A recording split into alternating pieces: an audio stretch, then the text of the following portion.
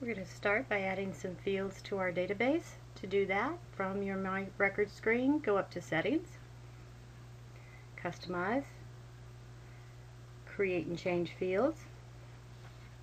We're going to add three fields, one a date, one a text, and one a checkbox. So we're going to start by clicking on Add Field.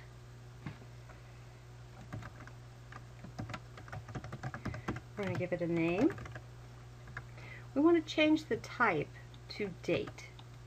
That means that only data that is formatted in the proper format will go into that field. You have several options under type.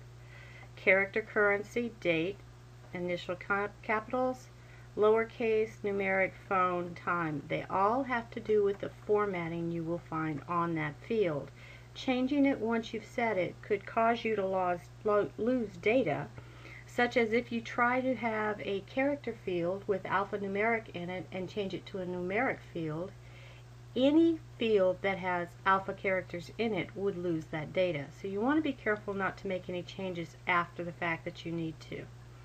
Because this is a date field, we don't have a choice on size, but you, you do still have the choice on your entry rules. No rules is the best rule of thumb because if you protect the field, then you cannot put data in it.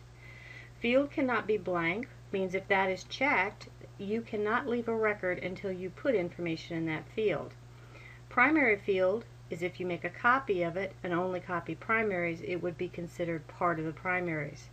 Generate history, every time that field is changed, the old information would go into history. That's an important feature for something you're wanting to track.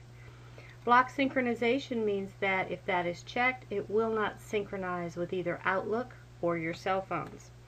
So we're going to leave all of these unchecked because it is a date field and we're going to hit save.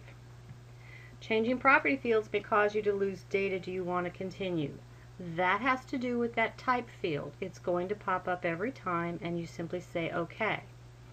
Now we're going to add another field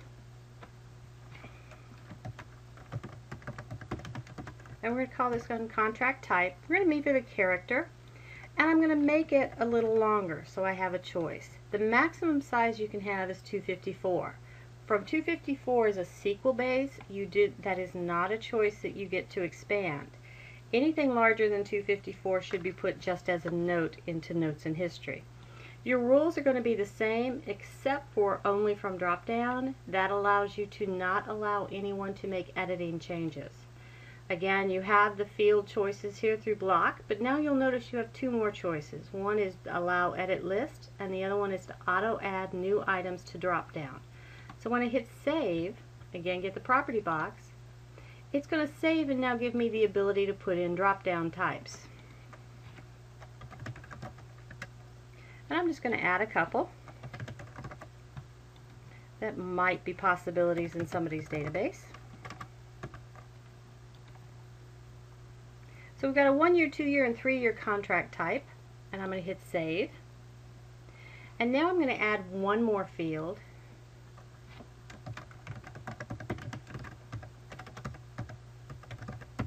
We're going to call it contract received. I don't need this one to be very big because I'm going to make it a checkbox. So I'm only going to make it three characters. So we have contract date, contract type, and we have received. So now let's let, add those to our layout. I'm going to hit save.